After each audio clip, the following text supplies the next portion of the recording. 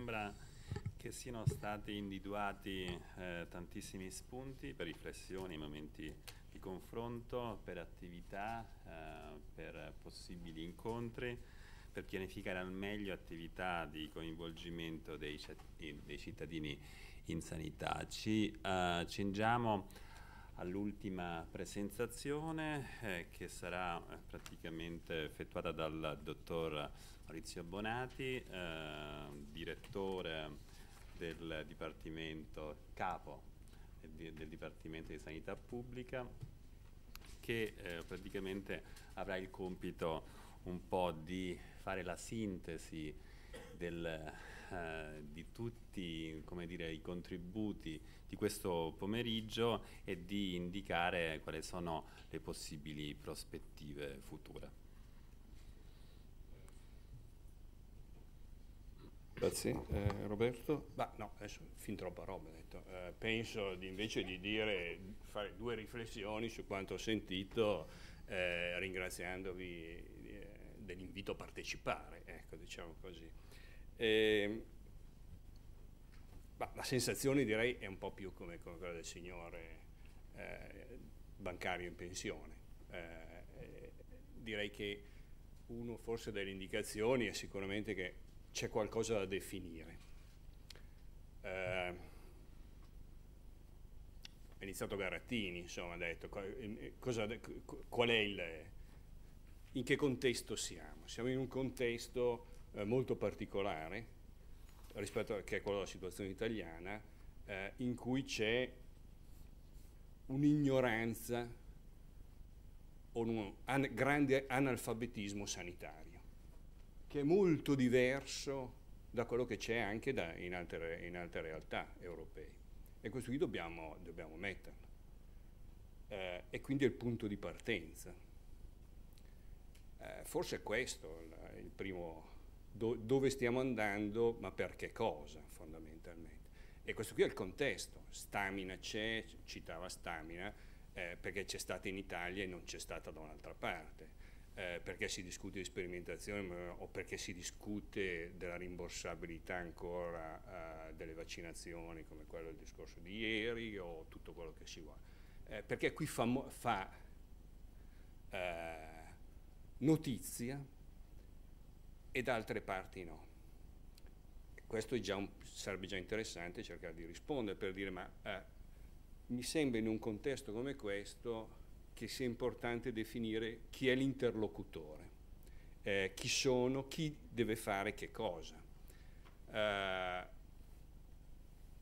Paolo Mosconi, a Genas, eh, da sottolineare anche per altre ragioni il buon connubio, direi, delle due, eh, de, delle due realtà eh, e che sia foriero di, di ulteriori eh, di future attività, che cosa dicono? Ma io l'ho letto dicendo, ma sì, qualcosa si fa, è possibile fare. Eh, ma con chi e per che cosa e che tipo di valutazione, perché rimandare alla valutazione eh, degli interventi di altri quando poi bisognerebbe valutarli questi tipi di interventi. Dieci anni di attività, sì, si è prodotto, ma usando quali strumenti e quali, a dire delle sensazioni del piacere, ma fondamentalmente perché richiedi un'evidence base molto ristretta per un intervento e dall'altro ti accontenti di dire qualcosa abbiamo fatto e c'è una risposta. Perché tutto ciò? Almeno questa è una riflessione delle cose sentite. Beh, la prima è che eh, secondo me è necessario fare un chiarimento subito associazioni. Eh, questo tipo di attività non deve rivolgersi alle associazioni, men che meno quelle di pazienti. L'intervento è stato chiaro, non sono un'associazione. E se è un'associazione, che tipo di associazione è? Se è già costituita, ha già una finalità se il cittadino o l'insieme di cittadini è diverso. Questo mette in discussione che cosa? Che l'intervento, che tipo di intervento dobbiamo fare è rispetto a, al singolo alla popolazione, al gruppo, ma se è un gruppo già determinato ha già delle sue finalità, ha già delle sue... E se non è determinato, come devo costituirlo? E non mi rivolgerei alla solo medicine, ma alla solo food, per intendersi, se devo aggregare e fare qualcosa. Dall'altro è, ci sono delle competenze che non possono essere sostituite. E allora di che cosa deve essere informato il singolo rispetto a... Perché qui eh, c'è stata un po' di confusione, insomma, devo informarlo quando nel momento in cui ho bisogno lui, il singolo? Non necessariamente. Se devo coinvolgere in un processo decisionale, in qualsiasi momento essere. Ma chi partecipa a questo processo decisionale? Anche, anche eh, quello che è stato per, eh, visto anche in ambito di percorso diagnostico terapeutico. Tutto orientato già al problema, al singolo problema posso prevenire dicendo no, parlo di tumori, non, nessuna associazione eh, di pazienti tumorali, ma questo non mi dice che, che tipo di contributo. E allora qui c'è anche un problema di, di formazione e di, di, informazione eh, che rimanda anche a compiti e responsabilità. Che compiti, ma qual è il terreno che uno deve definire? Non è che siamo nell'ambito della dell'educazione e della formazione, perché no è un altro settore. O nel, nel recupero dell'analfabetismo di ritorno, ammesso che ci sia, o nell'ambito educativo, anche perché altrimenti abbiamo competenze in modi diversi.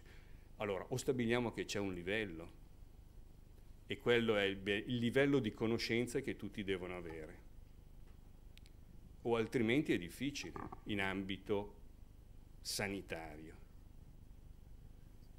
Il discorso di, di Sattolli su il potere, che era quello di, di Maccacaro, ma fondamentalmente un potere perché c'è conoscenza, dove non c'è conoscenza non c'è, potere, c'è potere perché c'è conoscenza. In realtà la storia ci fa vedere che anche ultimamente, e, ci, e alcuni esempi, che c'è poi potere anche nell'ignoranza, eh, quindi purtroppo eh, questo è, è, un'altra cosa. Eh, non ho avuto sufficientemente tempo per vederlo o per prendere poi. Eh, e tanto più in medicina. La lungimiranza di vedere medicina e potere, ma fondamentalmente quello che constatiamo. Ma nelle stesse relazioni di oggi, nel momento in cui il potere decisionale, e qui l'errore dell'HTA visto in questo modo, è fatto esclusivamente di costi e di prezzi, l'HTA non è nata per quello, è nata per tutt'altre ragioni e non sono, come del resto, ogni intervento sanitario non è nato negli uffici e non viene preso negli uffici appropriati. Ogni intervento passa dal Ministero dell'Economia in Italia. Questa è la presunzione, nel momento in cui devi giustificare il budget, in cui devi giustificare entrate, cui, e non della sanità. Quindi a chi ci rivolgiamo e per che cosa? Questo rimanda a un altro problema essenziale di cui non se n'è parlato, che è il problema della responsabilità. Non è possibile sentire una relazione sull'HTA da parte di un ente istituzionale senza mettere in discussione le responsabilità. E quindi anche in questo caso la responsabilità di chi? Ma rispetto all'informazione di che cosa? Allora, eh, anche in questo caso forse andrebbe for, eh, meglio, meglio identificato. Eh, perché non, non funziona e non funziona questo il ruolo delle associazioni già, già preposte. Perché non hanno potere, ma fondamentalmente perché non hanno mandato. Non hanno mandato.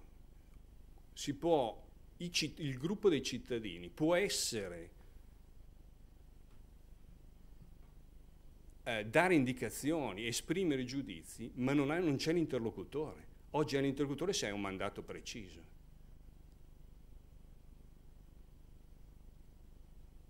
E, e un po' anche in questo caso ehm,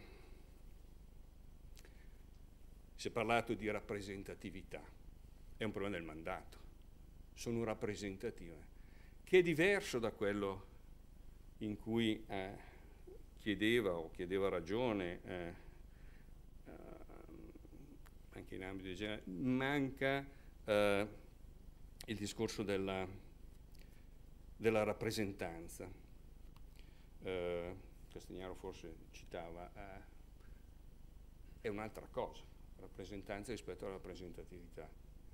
Da una parte c'è un mandato, dall'altra un insieme di eh, che è un voto ed è un po' il discorso del singolo e della, della popolazione, tra la, la, uh, fondamentalmente tra, tra, chi è eletto e poi no, ma cioè, fondamentalmente cioè, eh, anche in questo caso si può avere potere e recuperare potere, quel potere dato dalla conoscenza, uh, se il gruppo dei cittadini uh, ha potere e il potere può solo averlo se si trova qualcosa, una forma non di delega, ma fondamentalmente di mandato, che è, che è ben diverso.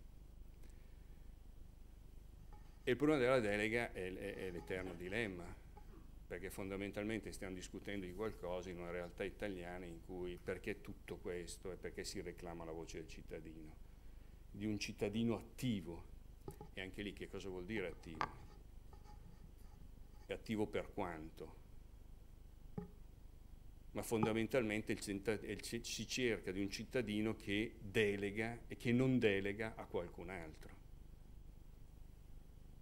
che ha competenze, perché non tutti devono essere medici, ma che trova un interlocutore. E non so qual è l'ideale di ciascuno e quali, sono le prospettive. Uh, non vorrei banalizzarlo, ma uh, pensavo prima di dire come, come qual è il futuro? Il eh, futuro più o meno eh, dovrebbe essere questo. Eh, guidiamo la macchina eh, ancora, più o meno tutti, e quindi rientra nel discorso del, eh, di generalizzarlo. Ehm, utilizziamo qualcosa che è il...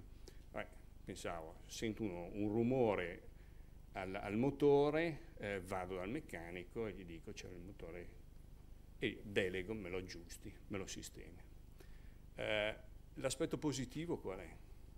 Beh, gli porto una macchina, c'è un, c'è un rumore, nel momento in cui lo avvio, penso sia la cinghia di trasmissione. Dice tutta la sua cosa, ma sì, potrebbe essere, però vediamo. No, è il motorino di avviamento, sono le puntine del motorino di avviamento che fa la stessa cosa, perché quando va, dopo un po' non funziona. È la stessa cosa che ho visto io. Uno è meccanico, medico, quell'altro è un cittadino, autista, normale, guidatore, è, è, è, fa, è meccanico, ingegnere. No, sa due cose, che è la, l'ABC di quello che ti fanno fare alla scuola guida, che si sarà dimenticato, ma che poi fondamentalmente c'è, che dovrai recuperare nel tempo. Non ci mette mano lui, ma non delega e dice ok quanto è e che cosa mi hai fatto.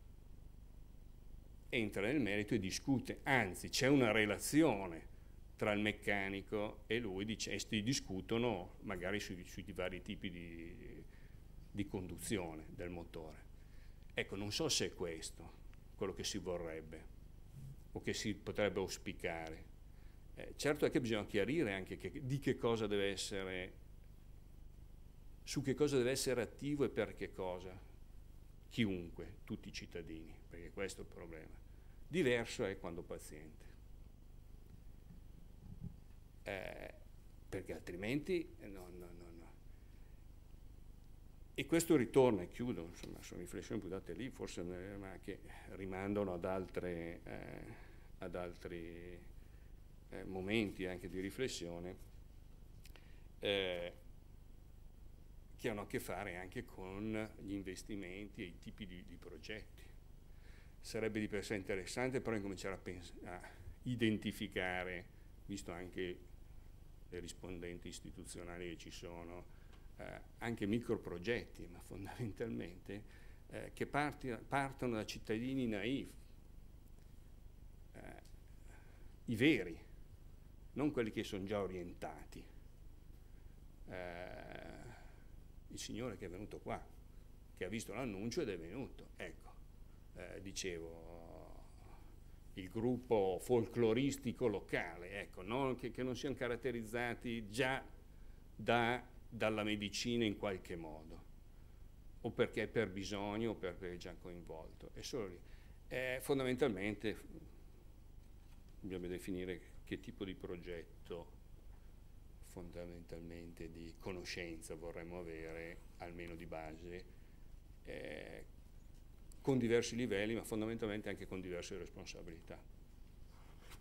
Eh, chiedo vegna della confusione, ma forse... Grazie.